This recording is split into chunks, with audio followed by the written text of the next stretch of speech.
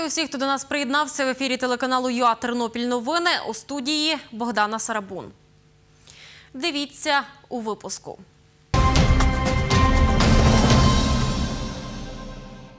Сьогодні звільнили голову Тернопільської облдержадміністрації Степана Барну. 24 особи в Тернополі змінили місце голосування на час позачергових виборів народних депутатів України. Зовнішнє незалежне оцінювання з географії на Тернопільщині відбулося без порушень. Участь у ньому взяли майже 2,5 тисячі абітурієнтів. У Борщові сьогодні розпочали вишивати сорочку для політв'язня Володимира Балуха.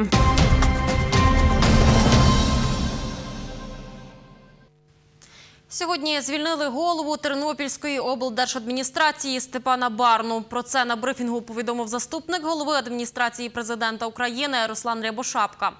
За його словами, виконуватиме обов'язки голови облдержадміністрації Іван Крисак. Степан Барна провів прес-конференцію, на якій прозвітував про свою діяльність як голови облдержадміністрації. Зараз наші кореспонденти готують цей сюжет до ефіру.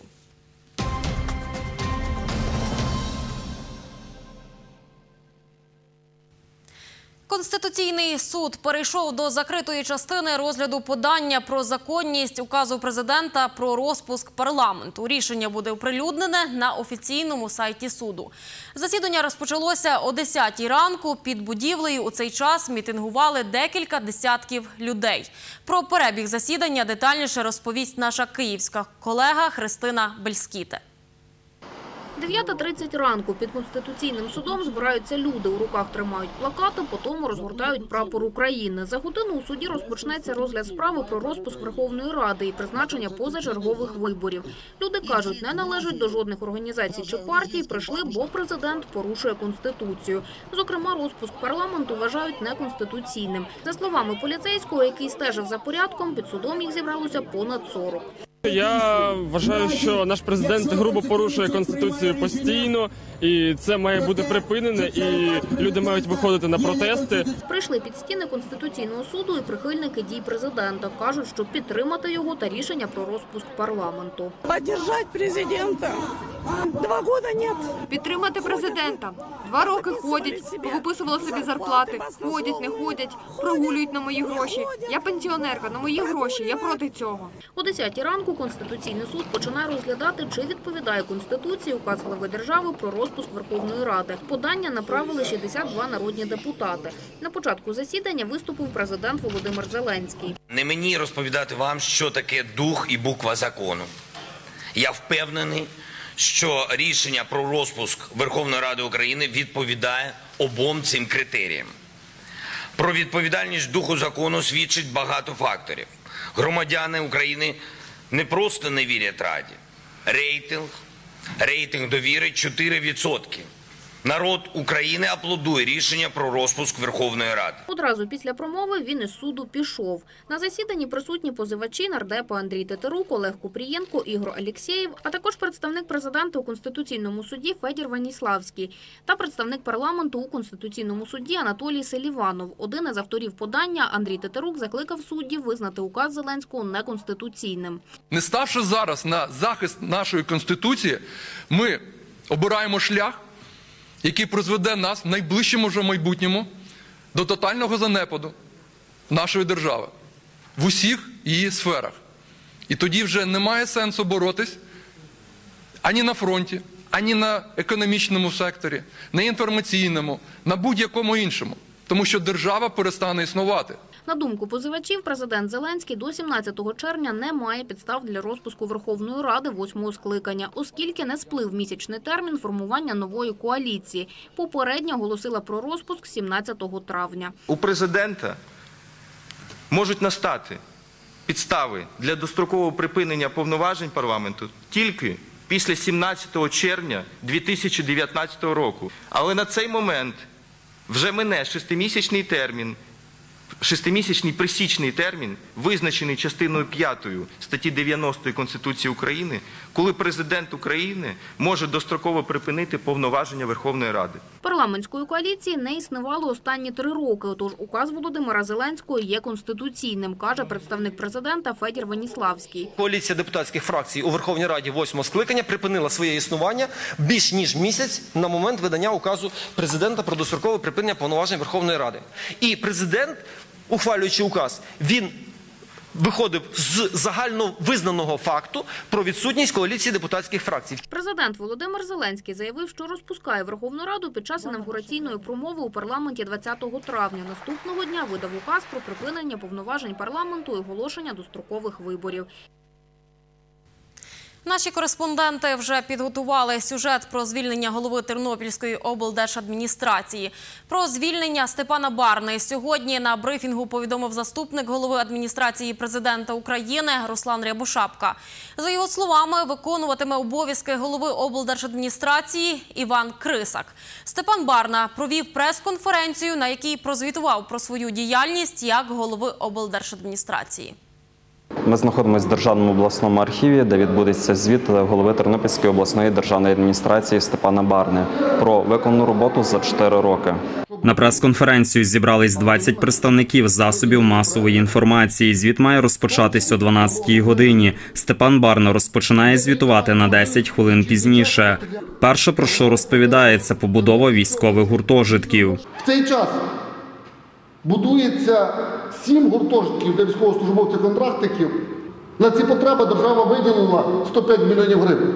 І це дасть можливість розмістити 840 військових Також Степан Барна розповів про децентралізацію. У 2015 році, за словами Степана Барни, створили 26 об'єднаних територіальних громад. Тоді це найбільша кількість громад в Україні. доходів по загальному фонді фонду бюджетів об'єднаних територіальних громад 2019 року, які складуть вже 1,2 мільярда гривень.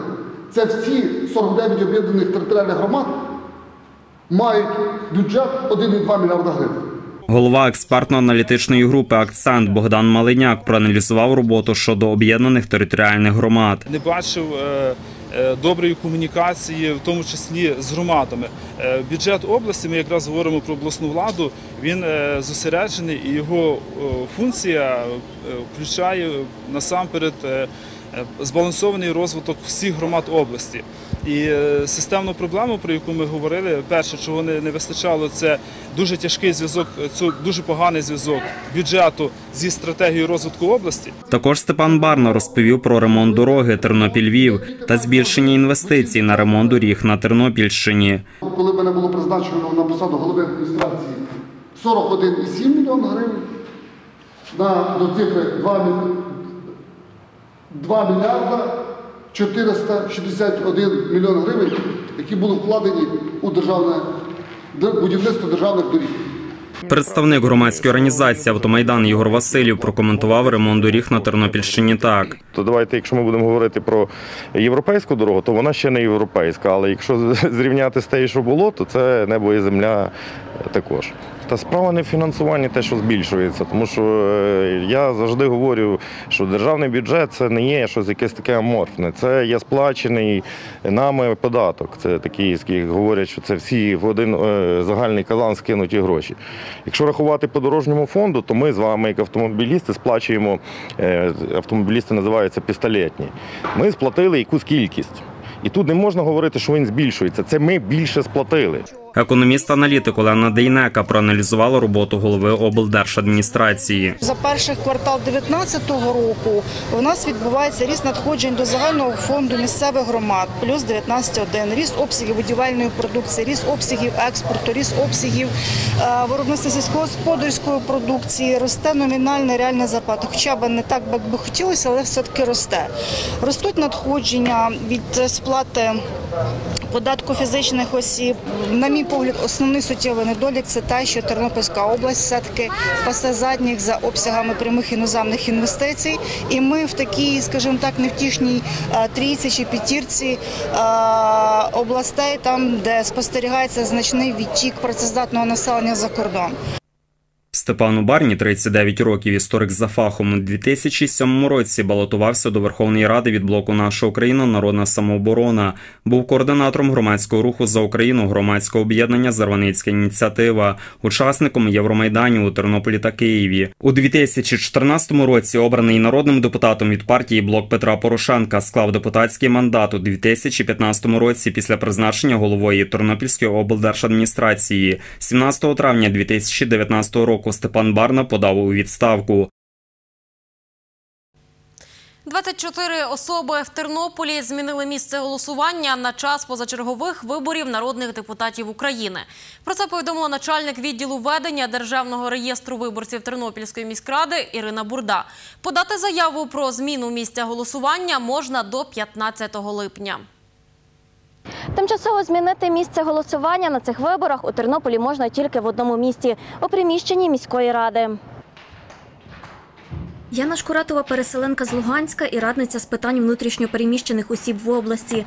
Жива в Тернополі з 2014 року. Прийшла до міської ради, щоб отримати дозвіл голосувати в Тернополі.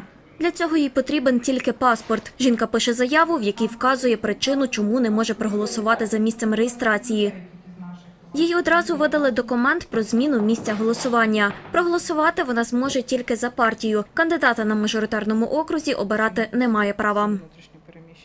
За те, що е, внутрішньопереміщені особи позбавлені права голосу е, за е, кандидата в депутати по мажоритарній системі, я знаю. Дуже шкода, тому що це би допомагало переселенцям вирішувати багато питань місцевого значення.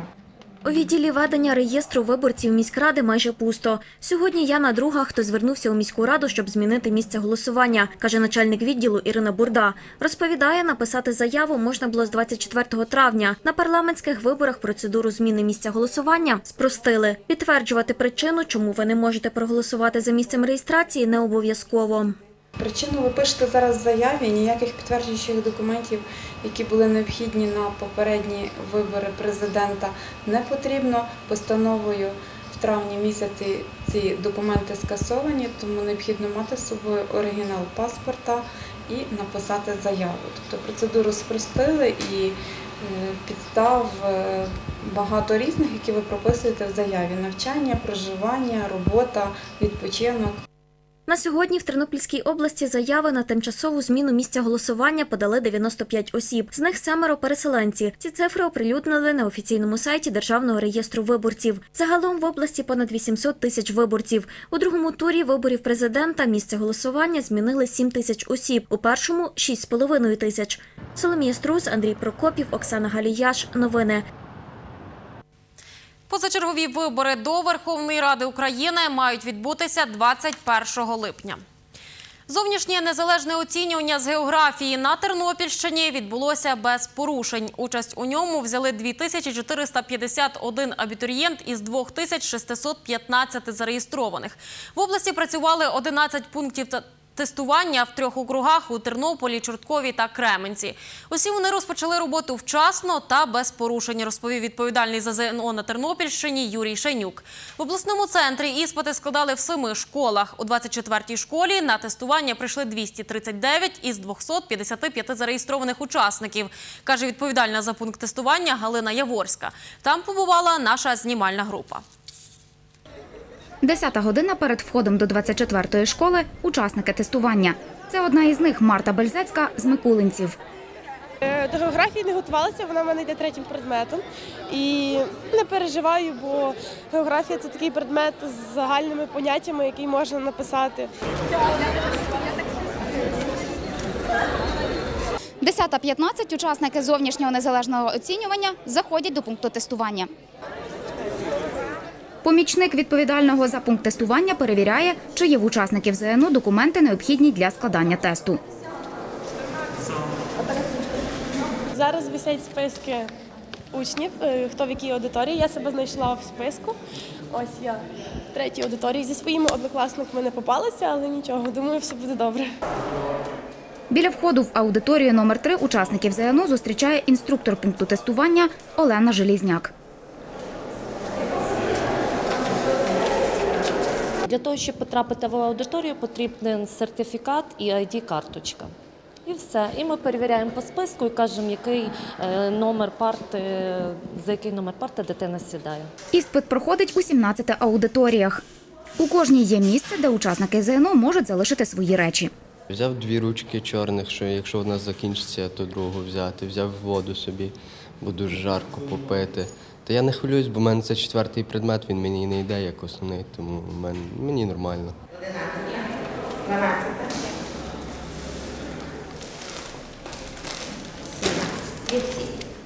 О 10.30 відповідальна за пункт тестування Галина Яворська видає 17 старшим інструкторам пакети із документами для тестування. У них зошити і бланки для відповідей. Старші інструктори несуть документи в аудиторії. Контейнер до нас приходить з Івано-Франківська. Е, Ну, це український центр оцінювання якості освіти, надсилає ці контейнери. Контейнер запакований, нічого не порушено, все витримано. 17 інструкторів були присутні при тому, як ми відкривали цей контейнер. Тестування розпочалося об 11 годині. Тривало 150 хвилин.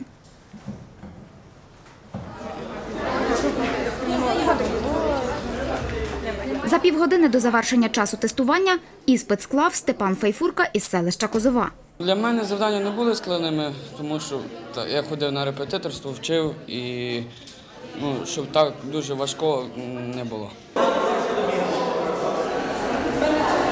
Під час технічної перерви перевіряли кожного учасника ЗНО за допомогою е, цього прибора. І порушення не було виявлено жодного порушення. Всі віднеслись дуже добре, з розумінням. Ірина Терлюк, Оксана Галіяш. Новини.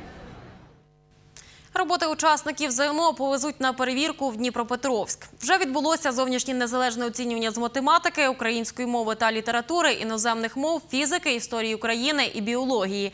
Цього тижня, 14 червня, оприлюднять результати тестування з математики, фізики, української мови та літератури, повідомив Юрій Шайнюк.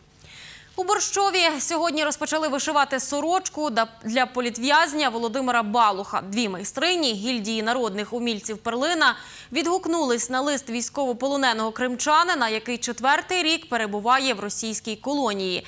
Як вишивають сорочку, бачила Діана Ярошенко. Наші колеги е, з Латвії, Тетяна Лазда, це товариство підтримки українців у Латвії. Вони переписуються з політв'язнями. І коли розказували про день всесвітньої вишиванки, дуже е, написав листа такого, ну що дуже він це любить свято, і що в нього були дві вишиванки, які е, в нього пропали на етапі. І просто вона тоді звернулася до майстринь, в тому числі і нас, чи ми могли би таку вишиванку вишити. Господи Ісусе Христе, Боже наш, споглянь з небесних висот і благослови сорочкою цю, щоб вона була в збройних сил Твоїй благодаті і благодаті допомоги. Христі Ісусі, Володимиру Балаху, Майстриня Тетяна Дяківнич вишиває верхню частину сорочки, верхні погрудки. Це буде сорочка в сучасному стилі, е, така усучаснена. Е, Не під старовину, хоч узор ми вибрали старовинний. От зараз я вишиваю от, е, центр сорочки. Тут дала солов'їні вічка, що один рядочок залишився мені, щоб тут розрізалося, щоб воно делікатно лежало на тілі. Майстриня Уляна Яремій почала вишивати рукав. Рукав не буде отакий такий вільний, а буде зібраний на манжет. І тому е, так буде негарно, якщо зібрати отаку широку частину. І так ми так придумали, що ми звужимо ман- манжет, от, щоб була така, такий самий орнамент, як на стійці біля шиї.